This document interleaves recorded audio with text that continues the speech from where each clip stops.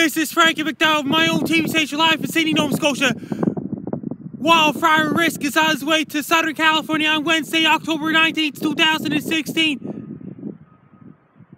It's going to bring a lot of wildfires in Southern California, outside of Los Angeles, Santa Barbara, California, and San Diego, California. Since the air is very dry and, the, and hot, and the ground's also very dry as well. That's going to cause a lot of very strong winds with a lot of blazing flames and brush fires going on in Southern California. It's going to bring wildfires. It's going to bring a lot of flames. It's going to be flames going to be spreading around in Southern California. Here's my advice for people living in Southern California: stay away from the fires. Don't go near the fires in Southern California. Make sure to have your all kinds of water ready to battle the fire. Make sure have your helicopters ready to put out the fires in Southern California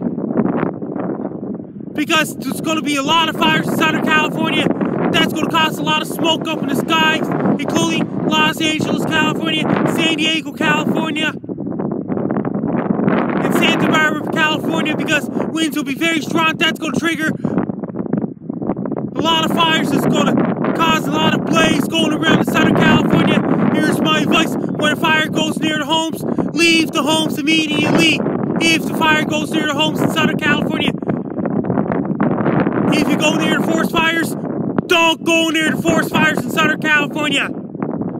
Because the fire's going to be really bad in Southern California on Wednesday, October 19th, 2016.